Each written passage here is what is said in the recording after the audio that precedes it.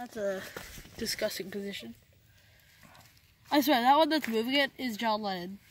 Yeah, the one that moved it is John Lennon. Oh, There's a bunch of little guys on there, too. Is that other, that The other other, one's Ringo. yeah, the other Beatles ring. Yeah.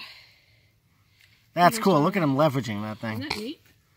That's why Dylan and I end up standing here for so long. You wanted it, because you were right behind me and we turned around and we were gone. Yeah, he's rolling it.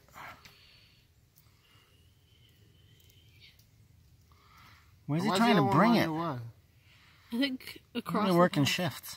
Like right there. The other one's a um, union boss. He just makes sure the other guy does his job.